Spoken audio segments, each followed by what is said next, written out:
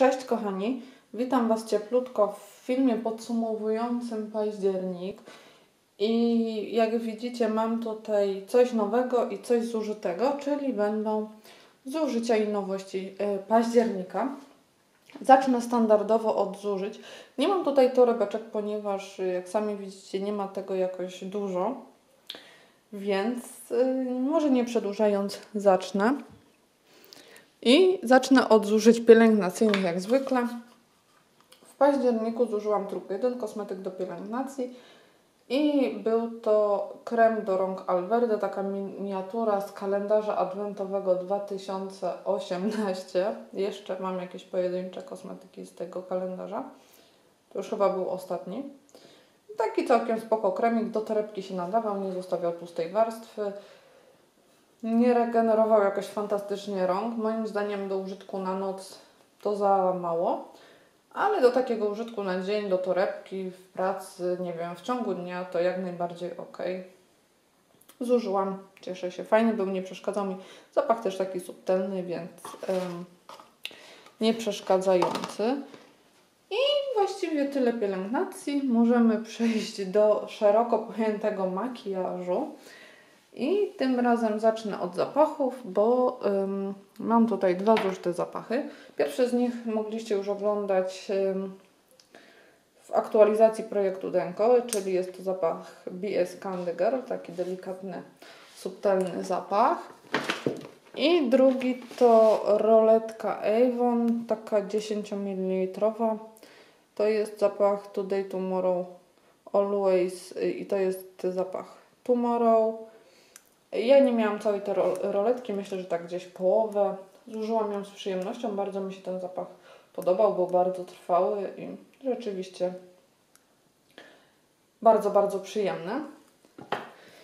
E, kolejnym e,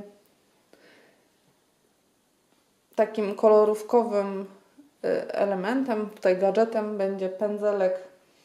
Jak widzicie, bardzo mocno sfatykowany, z niego wyleciało to włosie, ono się rozpadło, wypadło całe, rozpadło się i ja je tak włożyłam i trzymam tak delikatnie tylko do tego, żeby Wam pokazać. Jest to pędzelek Miomare z um, takiego zestawu, który jakiś czas temu Wam pokazywałam, który dostałam y, z Niemiec. I ja Wam oczywiście y, link do tego zestawu, zresztą tak samo jak do recenzji kosmetyków, tych recenzji, które oczywiście się pojawiły na blogu czy na kanale, podlinkuję we wpisie który pojawi się na blogu. Nie tutaj pod filmem, tylko na blogu. Oczywiście mm, adres, link do bloga, do tego wpisu będziecie mieć tutaj pod spodem. Był to jeden z moich ulubionych pędzli z tego zestawu. Używałam go niezgodnie z przeznaczeniem, bo był to pędzelek do różu, taki skośnie ścięty.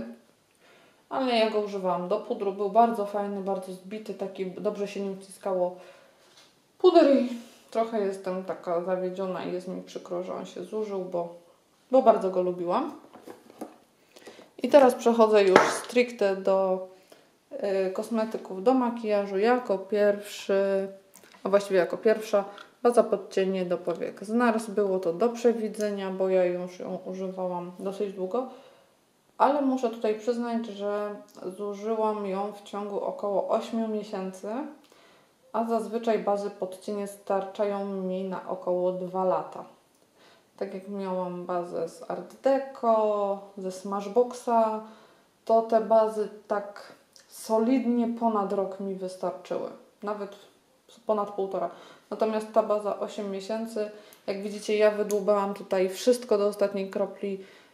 Yy, zużywałam ile się dało, potem wyciągnęłam stoper. Po wyciągnięciu stopera jeszcze rozcięłam opakowanie, więc zużyłam naprawdę każdą, każdą kroplę. Byłam z tej bazy bardzo zadowolona, no ale chyba raczej do niej nie wrócę. Jest tyle baz ciekawych na rynku, że na pewno sobie coś upatrzę i będę chciała to wypróbować.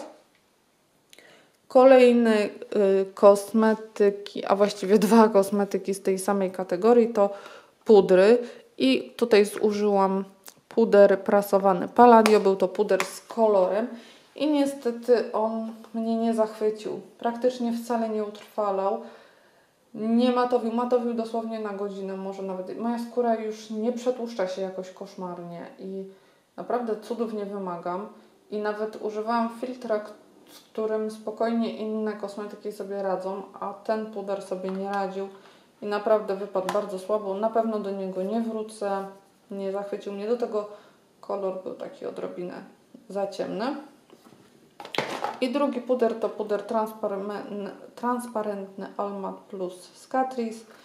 E, to był taki bardzo mocno matujący puder i tutaj z tym pudrem miało miejsce dokładnie to samo, co dzieje się z każdym bardzo mocno matującym puderem, czyli po nałożeniu skóra była mega, mega matowa, wręcz płaska, a potem reagowała na to zmatowienie takim e, zintensyfikowaną produkcją sebum i świeciła się jeszcze bardziej i makijaż dosłownie sobie pływał na tym sebum, więc zdecydowanie nie wrócę.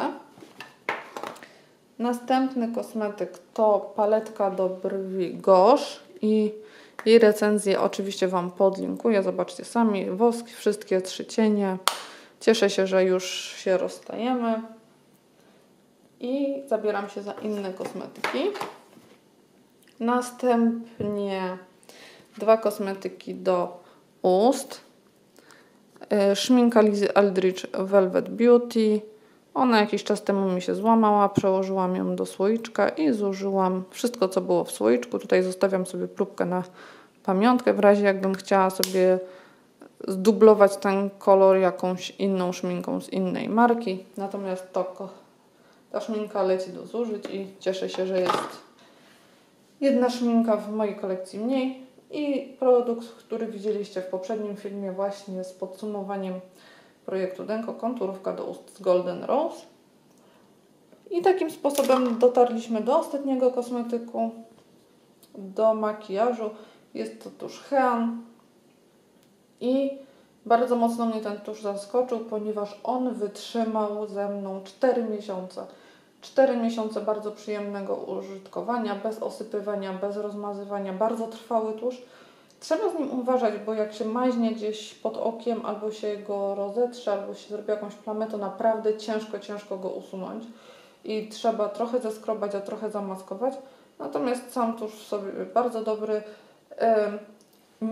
Nie, może nie robił takiego super spektakularnego efektu i nie było efektu sztucznych rzęs i w ogóle cudów, ale był to bardzo przyzwoity tusz. Na pewno nie zmniejszał widoczności rzęs Miał bardzo ładny czarny kolor i myślę, że jeszcze się skuszę na testowanie tuszy tej marki, bo, bo byłam z niego zadowolona i on był zabezpieczony, jak widzicie tutaj jest taka folia, on był zabezpieczony, więc miałam pewność, że kupiłam nowy produkt i pewnie też dlatego wystarczył mi na tak długo.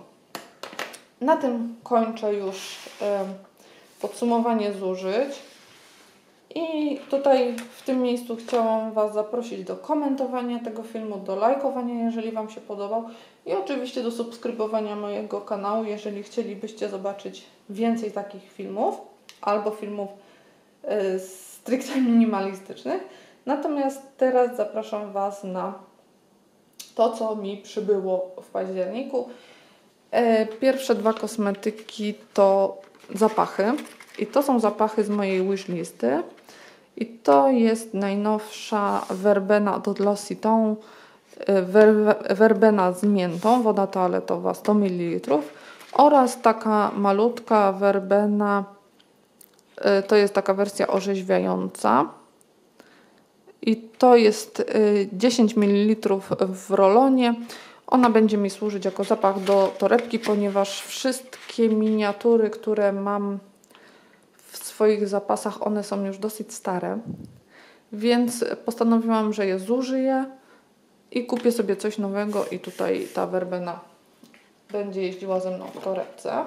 Kolejny zakup, bo może będę Wam pokazywała w kolejności, w jakiej do mnie przyleciały, to yy, filtr do ciała, no właściwie do twarzy i ciała, yy, Holika Holika Allow Shooting Essence i to jest Waterproof Sun Gel SPF 50+. E, no muszę przyznać, że to jest zakup nieplanowany. Znaczy ten produkt wisiał już dosyć długo na mojej wishliście, ale nie planowałam go kupować już teraz.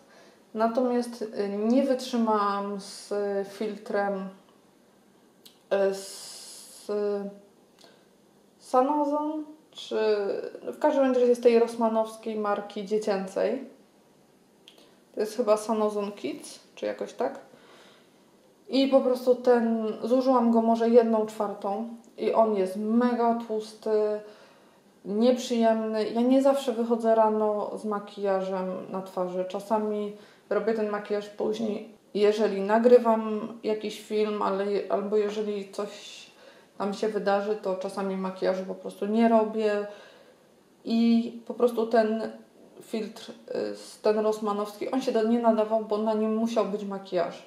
Po prostu po nałożeniu tego filtru i odczekaniu aż się wchłonie, po prostu makijaż był obowiązkowy, bo inaczej po prostu włosy były tłuste, wszystko było tłuste. No i nie. Mm, moim zdaniem kosmetyki są po to, żeby sprawiały przyjemność, a nie żeby się z nimi męczyć, więc zastąpiłam go tym. Jeszcze nie jest w użytku, bo zużywam ten malutki filtr z Oriflame, ale on też się już niedługo skończy. Skorzystałam z promocji i po prostu kupiłam coś, co mam nadzieję mi się sprawdzi.